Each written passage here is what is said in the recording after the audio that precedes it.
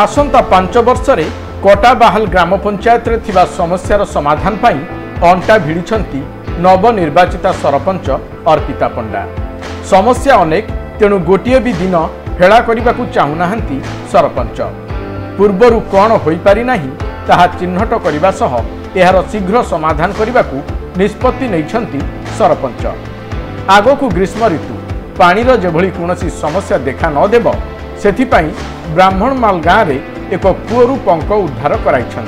गाँ र ward member जेनामणी Behera नेतृत्व न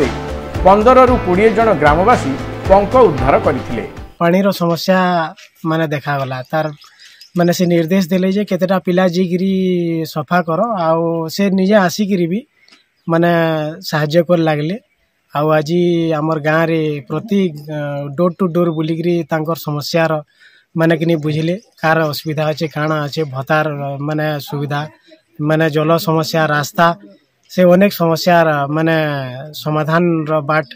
मैंने आगे तैयारी करवार लगी से प्रतिश्रुति चली सरपंच महाशय गाँव घर घर बुली लोकों समस्या पचारि बुझी और समाधान प्रतिश्रुति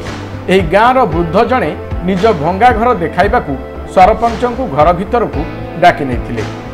ଆଶା ଯେ ତାଙ୍କ ସମସ୍ୟା ସମାଧାନ ହେବ ସରପଞ୍ଚଙ୍କୁ ନିଜ ଗହଣରେ ପାଇ ଗ୍ରାମବାସୀ ବି ଖୁବ୍ ଖୁସି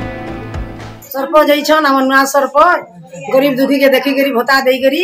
ଆମେ କର୍ମୀ ଧର୍ମୀ ସବୁ ବୋଲୁଛନ୍ ଉଞ୍ଜା ସରପଞ୍ଚ ମାନେ ଭୋଟ ଦେଲୁ କେବେ ବି ନି ଆସି କେବେ ବି ଆସିନି କି କେନ୍ କଥା ବି ଦେଖିନି ଗରିବ ଦୁଃଖୀ ବି ଦେଇନି କି ଘର ବି ନି ଦେଇ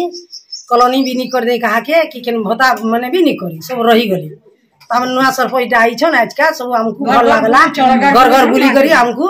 भल लागला खुसी लागला ब्राह्मणमाल ओ केन्दुमाल गाँव भत्ता बंटन कार्यक्रम रे भी सरपंच जोग देथिले ए कार्यक्रम रे पीएजी कोऑर्डिनेटर धीरेन्द्र कुमार प्रधान ओ अभिमनु बरिहा उपस्थित थिले तेबे सरपंचक एभळी काम देखि ग्रामवासी माने तांकु सबु प्रकार सहाय्य सहयोग करिवे बोली प्रतिश्रुति देइछन्ती ब्युरो रिपोर्ट नीलाचल न्यूज